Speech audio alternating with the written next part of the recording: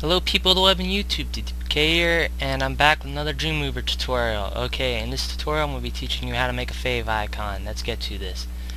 First of all, you'll want to have an image you want to use as your fave icon. You want this image to be 32 by 32 pixels, and you want it converted to an ICO format. You can easily do this by using any online converter, image converter out there. Just Google PNG to ISO and there you go. Once you have your ISO image converted and saved, drop it into your images folder of your website.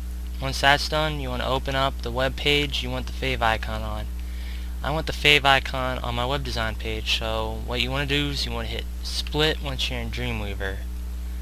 Okay, once you're hit split, you want to go right under your HTML tag so we can easily find it, hit enter, and type in the link REL equals and you have to have these quotes and you want to just put pretty much anything in here but I'm putting shortcut icon for now. That's just so you can easily go back and reference this. And you want to type in after that href and then you want to put equals and uh, put another quote in there and it should say browse. Hit browse and search for wherever you put your favicon. For me I put it in my homepage directory under my images folder and there it is. Just select it and after you do that you got one more thing you gotta do and it's done.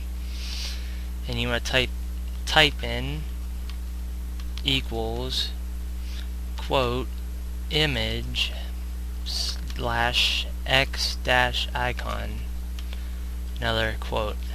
Okay, you could hit preview in browser, but you won't be able to see it. You have to actually physically upload this to your site in order to see it.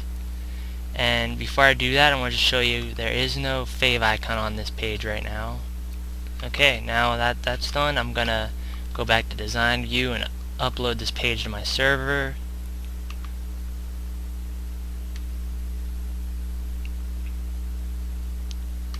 Make sure you hit save just in case anything goes wrong.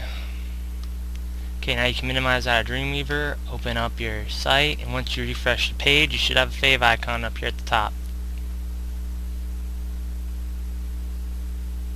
Well guys, that's pretty much it for this tutorial. DTPK signing off. I'll see you bros in the next video. Peace.